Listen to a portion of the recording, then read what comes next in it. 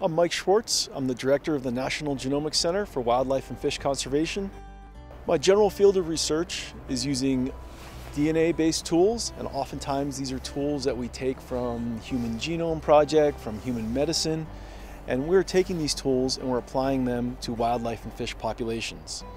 So that means we're looking at the DNA of an organism to try to understand something about its population size, about connectivity among populations, or about the genetic health of a population. And we're learning things that you couldn't learn by just watching an animal or by putting a radio collar on an animal. These are things about either contemporary things about the animal or historic things about animal populations. So we can look at genes as they're spread all throughout a landscape and look at how they connect to one another. And from that, we can make inferences to where animals have been moving and what areas are really important for connectivity on a landscape.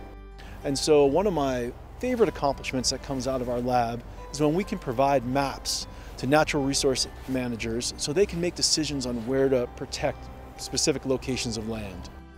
I think the best part of this work is the fact that we work for a natural resource agency. And that means that our data, data that we collect, doesn't just go on a shelf and gather dust, it gets used by managers.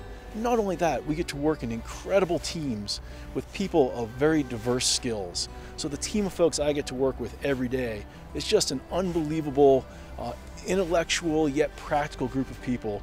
Um, it's just a, a, a very inspiring workplace.